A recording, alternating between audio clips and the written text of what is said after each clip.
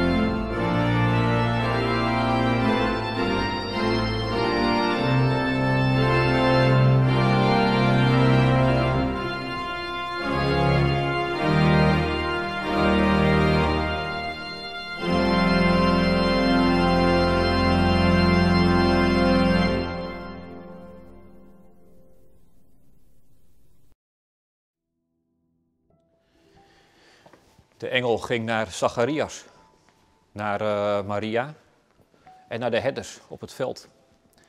Hij zei: Wees niet bang, ik heb een goede boodschap.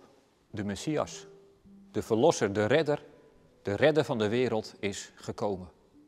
Zijn naam is Jezus, zijn naam betekent God met ons, Immanuel. Zijn komst willen wij vanavond vieren. We doen dat eh, op een gevarieerde manier. Maar de kern is, kom, laten wij aanbidden. Laten wij aanbidden die koning.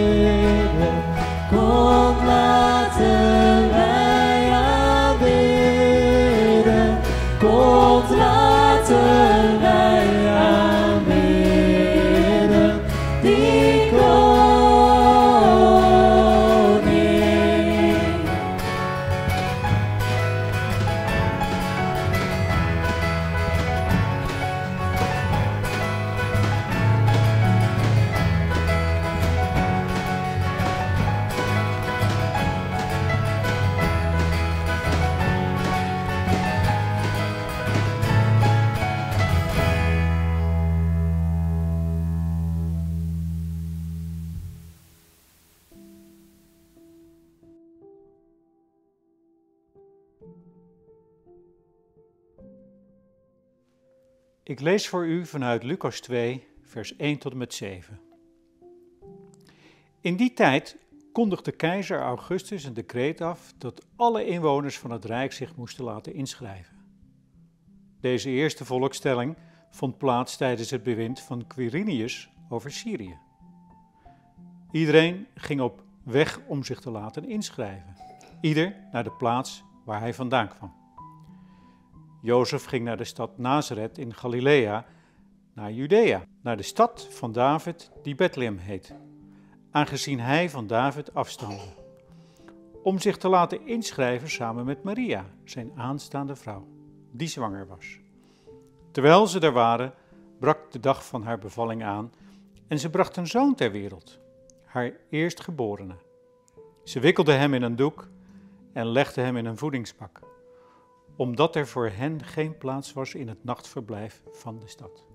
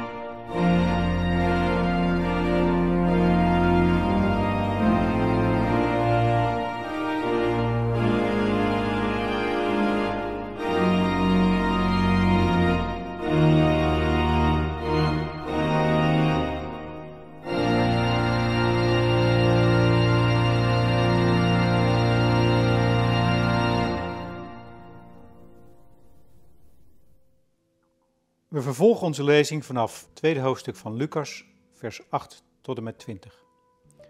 Niet ver daar vandaan brachten herders de nacht door in het veld. Ze hielden de wacht bij hun kudde. Opeens stond er een engel van de Heer bij hen en werden ze omgeving door het stralende licht van de Heer, zodat ze hevig schrokken. De engel zei tegen hen: Wees niet bang, want ik kom jullie goed nieuws brengen, dat het hele volk met grote vreugde zal vervullen. Vandaag is in de stad van David voor jullie een redder geboren. Hij is de Messias, de Heer. Dit zal voor jullie het teken zijn. Jullie zullen een pasgeboren kind vinden in een doek gewikkeld, in een voederbak licht. En plotseling voegde zich bij de engel een groot hemelsleger dat God prees met de woorden: Eer aan God in de hoogste hemel en vrede op aarde voor alle mensen die Hij lief heeft. Toen de engelen waren teruggegaan naar de hemel, zeiden de herders tegen elkaar: Laten we naar Bethlehem gaan om met eigen ogen te zien wat er gebeurd is en wat de Heer ons bekend heeft gemaakt. Ze gingen meteen op weg en troffen Maria aan en Jozef en het kind, dat in de voederbak lag. Toen ze het kind zagen, vertelden ze wat hun over het kind was gezegd. Allen die het hoorden, stonden verbaasd over wat de herders tegen hen zeiden. Maar Maria bewaarde al deze woorden in haar hart en bleef erover nadenken. De herders gingen terug, terwijl ze God loofden en prezen om alles wat ze gehoord en gezien hadden, precies zoals het hun was gezegd.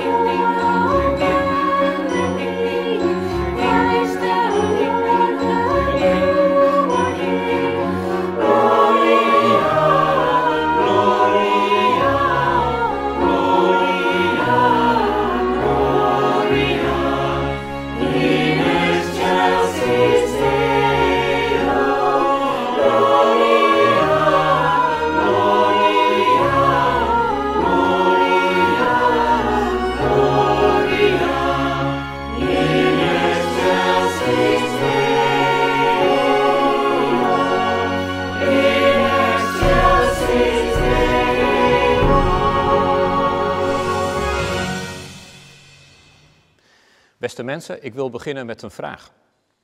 Wat is de overeenkomst tussen dit fitnessapparaat, dit fitnessvoorwerp, een snoeischaar en deze pen? Nou, het is niet zo dat ik al deze voorwerpen even vaak gebruik. De overeenkomst is, in elk voorwerp zit een veer. Dat zie je in dit voorwerp heel duidelijk. Een grote veer.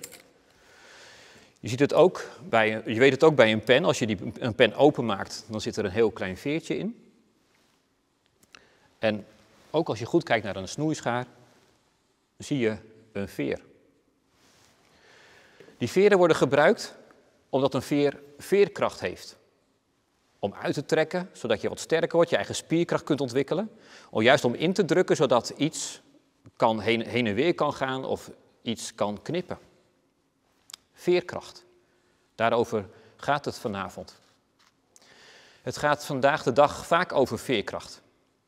En dan niet zozeer op het gebied van voorwerpen. Nee, wij mensen hebben veerkracht nodig. Zeker nu we weer in een lockdown zitten. We hebben veerkracht nodig. Want het valt niet mee. Als je student bent en je mist je sociale leven. Of als je oudere bent en je mist contacten en de gelegenheid om gewoon even naar buiten te gaan. Als je ouder bent van jonge kinderen, dan heb je misschien net een zware week achter de rug met kinderen thuis en werken en allerlei ballen die je in de lucht hebt te houden. Als je in de zorg werkt, misschien juist op die afdeling waar het zo extra druk was en is. Wij hebben als, als volk veerkracht nodig.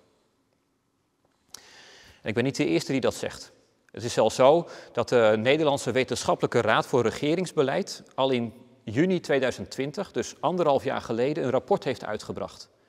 De titel van dat rapport was Kwetsbaarheid en veerkracht. En in het rapport wordt opgeroepen om de veerkracht te versterken. We hebben veerkracht nodig. We moeten versterken, onze veerkracht moet sterker worden. Dat is natuurlijk mooi gezegd, maar ja, hoe doe je dat? Hoe, hoe versterk je nou je veerkracht? Ik heb op internet wat rondgekeken en dan kom je allerlei mooie adviezen tegen. En sommige liggen heel voor de hand als je nou wat meer gezond eet of wat meer slaapt, dan heb je al vanzelf wat meer veerkracht. En als je ook nog in de gelegenheid bent om wat meer te bewegen, dan is dat ook goed voor je veerkracht. En als je dan ook nog wat contact hebt met mensen, dan heb je nog iets meer veerkracht. Ja, dat is waar. Maar ik dacht, ja, is dat nou genoeg? Ja, natuurlijk. Natuurlijk is het goed om goed te slapen en goed te eten en goed te bewegen als dat kan. En om contacten te hebben met andere mensen. Maar halen we daar genoeg kracht vandaan? En toen ik wat verder zocht, toen kwam ik bij bepaalde deskundigen twee interessante dingen tegen. Eén deskundige zei, wat wij nodig hebben, wat je nodig hebt om veerkracht te krijgen, dat is een, een verhaal. Een verhaal met oriëntatie, een verhaal dat oriëntatie biedt. Dat je weet wat je betekenis is als mens. we hebben informatie genoeg, we krijgen heel veel informatie. We horen dit, we dat, we horen zus, we horen zo. Maar wat we echt nodig hebben is oriëntatie, dat we weten waar we naartoe gaan, dat we weten dat ons leven betekenis heeft, dat ons leven zin heeft. Zo'n verhaal hebben we nodig. En wat een andere deskundige zei, dat was eigenlijk ook wel interessant. Die zei, weet je, veerkracht, ja, dat kun je trainen, je kunt er een beetje in groeien. Maar het is ook iets wat je krijgt. Het is een soort van uh, gave, zou je bijna zeggen. Het is iets spiritueels. Veerkracht. Een goed verhaal hebben we nodig. En we hebben eigenlijk een, een bron nodig waaruit we veerkracht kunnen putten. Weet je wie er ook veerkracht nodig hadden? Dat waren de herders. 2000 jaar geleden, die leefden in de buurt van Bethlehem. Herders zijn in die tijd, dat was niet bepaald een pretje. Er werd op herders neergekeken. Herders waren vervelend, ze waren irritant. Ze zorgden voor overlast met hun kuddes, hun kuddes die alles kapot graasden. Herders waren vaak ongeletterde mannen, ze konden niet lezen. Herders waren niet welkom in de synagogen. Als herder had je veerkracht nodig. Ze hadden een verhaal nodig dus. Een verhaal waardoor ze konden weten dat hun leven betekenis had, dat hun leven zin had. En ze hadden een bron nodig, een bron waaruit ze konden putten, waardoor ze veerkracht konden ontvangen. Maar ja, waar vind je zo'n verhaal en waar ontdek je zo'n bron? Gelukkig komt de hemel te hulp. De hemel gaat open. Een engel wordt door God uitgezonden. Met een goede boodschap, met een evangelie. En deze engel gaat naar de herders. De herders komen bij de stal, bij de voerbak. En wat zien ze daar? Wat ontdekken ze daar? Ze zien kwetsbaarheid. Zeker, ze zien kwetsbaarheid. Maar ze zien ook achter die kwetsbaarheid, in die kwetsbaarheid, zien ze veerkracht. Kwetsbaarheid. Er is niemand zo kwetsbaar in het verhaal van de geboorte van Jezus dan Jezus zelf. In die tijd werden veel baby's niet meer dan een paar maanden oud. En je ontdekt het al in het verhaal zelf. Herodes is de machthebber en Herodes is bezeten van zijn macht. En we weten ook dat hij alle kinderen onder de twee in Bethlehem om het, leven zal brengen. Kwetsbaar is het leven van Jezus. En later zal hij nog meer ontdekken dat het leven kwetsbaar is.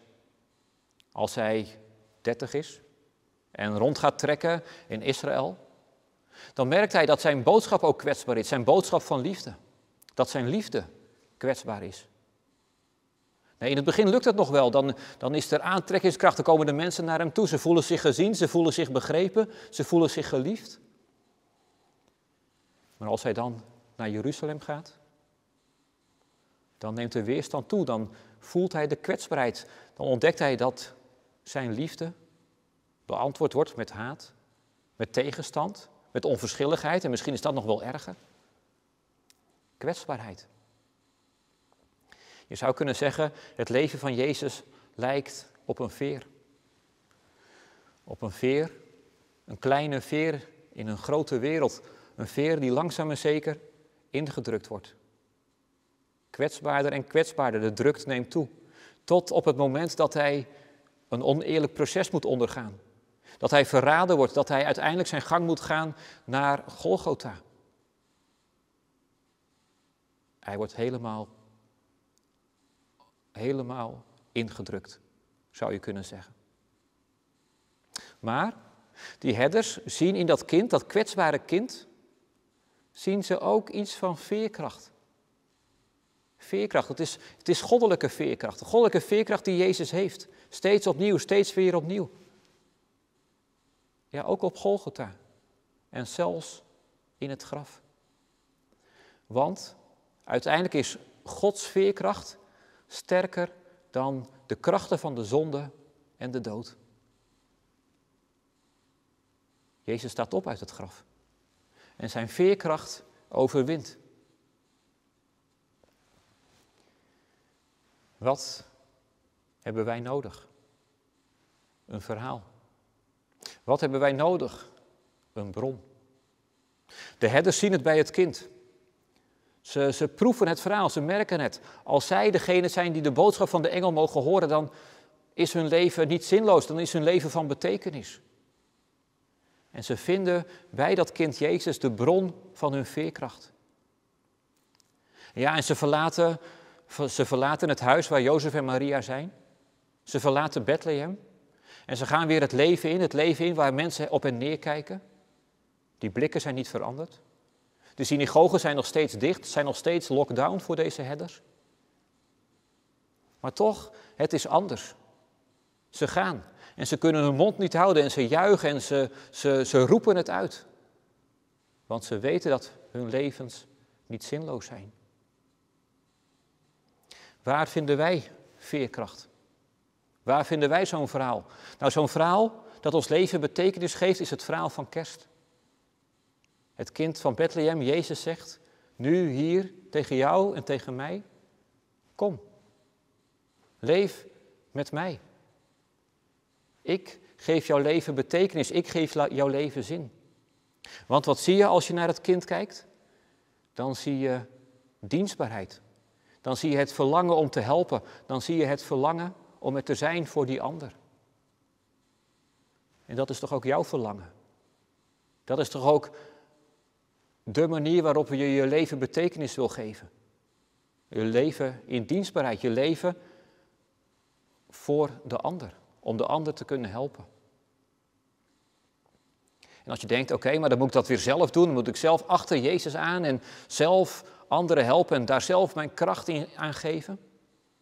Nee, dan zegt Jezus nog iets. Kom, kom eerst eens hier en laat je door mij dienen. Kniel eens neer. En ik zal je dienen met mijn liefde, mijn genade, mijn verlangen naar recht en gerechtigheid. Ik, ik zal je kracht geven. Ik, ik zal je helpen. Doe het nou niet alleen, vertrouw nou niet op je eigen kracht, maar hier. Drink uit deze bron. De herders gaan. Veerkrachtig. Ze hebben hun bron ontdekt. En wij, wij mogen tijdens deze lockdown ook uit deze bron drinken.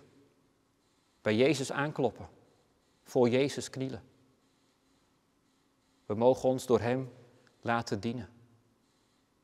En als we dan door Hem krachtig geworden weer opstaan, omdat we veerkrachtig zijn, opstandingskracht krijgen, dan kunnen we gaan. Achter Hem aan. Als mensen die de bron hebben ontdekt. Amen.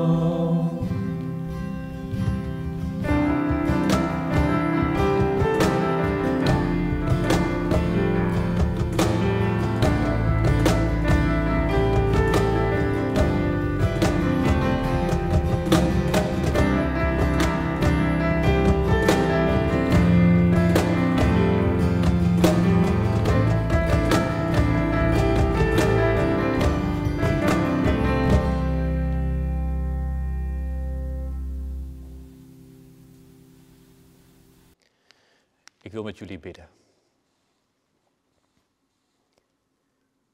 Heere God, wij prijzen uw naam. U bent groot en machtig. Maar we prijzen u omdat u zo groot bent dat u zich klein kunt maken. Dat u zo machtig bent dat u kunt komen in de gestalte van een kind. Uw opstandingskracht is sterker dan welke macht ook. En u wil ons in die kracht laten delen. Wij danken u voor de komst van Jezus Christus. Hoeveel lockdowns wij ook nog voor ons hebben wellicht, de hemel is open. U bent onder ons gekomen. Zijn naam is Immanuel. Wij bidden u, vergeef ons dat wij onze veerkracht vaak niet bij u zoeken en het ook niet van u verwachten. Dat wij het maar moeilijk vinden om ons door u te laten dienen. Om te leven van wat u geeft aan genade en liefde en rechtvaardigheid. Leer ons steeds weer om te knielen. Wij bidden voor mensen die op zoek zijn naar betekenis.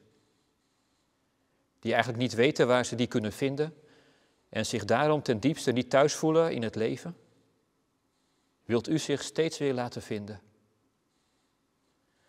Wij bidden voor allen die de betekenis vinden in zichzelf. Niet verder kijken dan het eigen leven.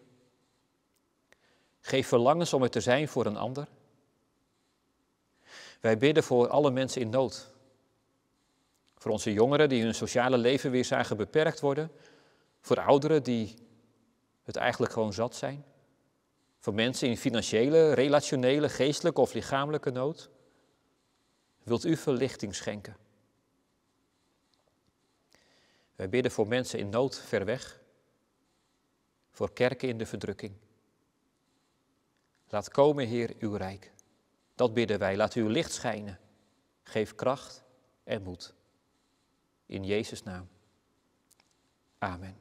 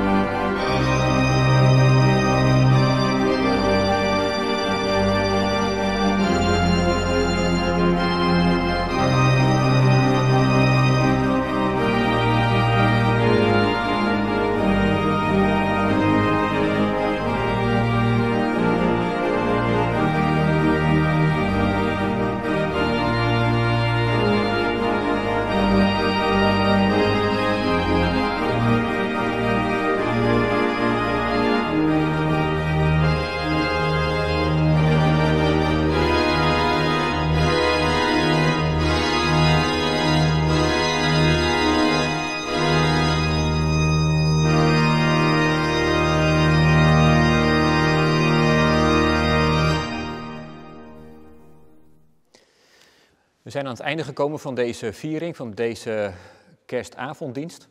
Bedankt voor het kijken. Ik wil ook iedereen die aan deze viering, deze dienst heeft meegewerkt, hartelijk danken. En ik wil jullie allemaal goede kerstdagen toewensen. Weet je gezegend door onze God. De genade van onze Heer Jezus Christus, de liefde van God en de gemeenschap van de Heilige Geest, zij en blijven met jullie allen. Amen.